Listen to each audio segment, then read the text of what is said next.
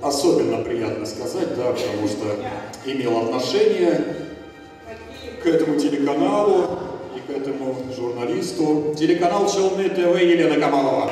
Ведущая новостей Елена Камалова получила статуэтку Камского бриза. Она выиграла в номинации «Репортаж». Жюри признали ее материалы о реконструкции Сталинградской битвы «Кольцо лучше». Победительница рассказала, как шли съемки в феврале в мороз и снег. На самом деле было очень холодно, 30-градусный мороз. И первое, что предложил телеоператор, давай мы тебя оденем, холодно. И он выпросил у участников реконструкции, э, реконструкции, чтобы они поделились своей вот этой вот армейской фуфайкой. Э, после этого уже пришла мысль, а давай прокатимся на танке. Скажем сразу, томить не будем. В тот вечер наш телеканал несколько раз поднимался на сцену за заслуженными наградами. Ну и первое место Сергей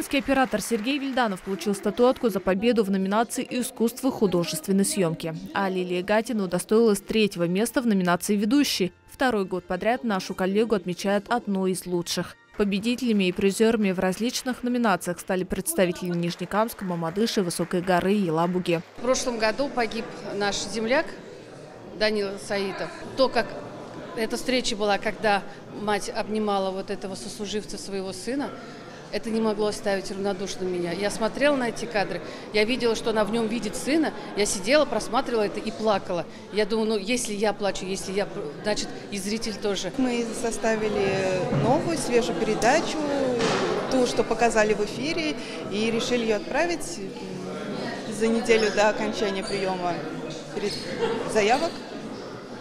Просто решили именно ее, потому что она в ней много материалов именно для людей.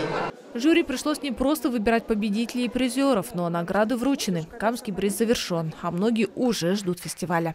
Эльмира Гайнудинова, Кирилл Хабзеев. Новости на Бершные Челны.